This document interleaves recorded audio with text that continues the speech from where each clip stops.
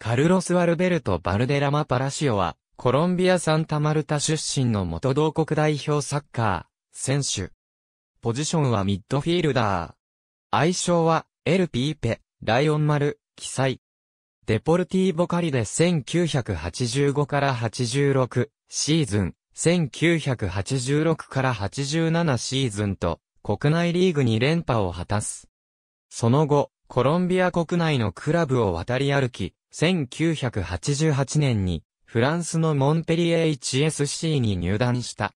ここで3シーズンを過ごし、スペインリーグのレアルバリアドリードに移籍したが、欧州サッカーに今一つ馴染めず、国内リーグに戻った。1995年には、アトレティコジュニオールでリベルタドーレスハイベスト4進出。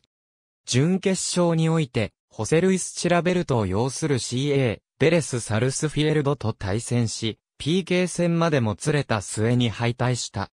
晩年は、アメリカ合衆国のクラブで過ごし、タンパベイミューティニーでは1996から97シーズンに、東カンファレンスでリーグ制覇し、MLS 年間最優秀選手を獲得した。2003年に現役を引退。日本の治安の良さに興味を持ち、J リーグに移籍するのではないかという話があったが、実現しなかった。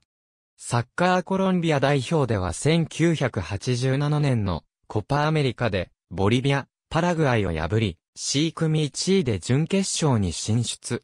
準決勝ではチリに敗れたが、3位決定戦で、ディエゴ・マラドーナを擁するアルゼンチンに勝利した。その活躍が評価されて、同年の南米年間最優秀選手賞を受賞した。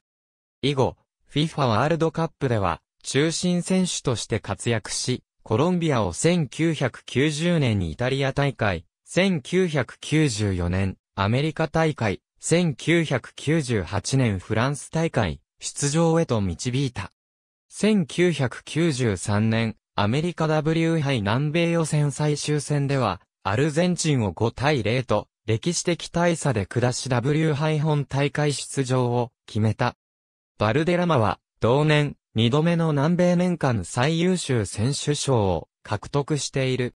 彼の W 杯のハイライトは1990年、イタリア大会の一次リーグである。UAE 戦で自身初ゴールを挙げ2から0と、W 杯初勝利する。2戦目のユーゴスラビアを0の1と落とし、最終戦に引き分け以上でなければ一時リーグ敗退が決まるコロンビアは、ローター・マテウスやユルゲン・クリンスマンを擁する西ドイツと対戦する。試合終了間際の88分に、西ドイツのピエール・リトバルスキーのゴールが決まり、コロンビアの一時リーグ敗退が濃厚となった。しかし、直後の90分にバルデラマから、フレディ・リンコンへ、スルーパスが通り、リンコンはゴールキーパーのボドイルクナーの股を抜く、同点ゴールが決めた。この得点により、決勝トーナメント進出を決めた。対戦した西ドイツ首相マテウスは、彼のパスは、シルクの糸のようだったと評した。1999年、ワールドサッカー史の20世紀の偉大なサッカー選手100人で78位に選出された。2004年3月、偉大なサッカー選手100人では、コロンビアから唯一選定された。ありがとうございます。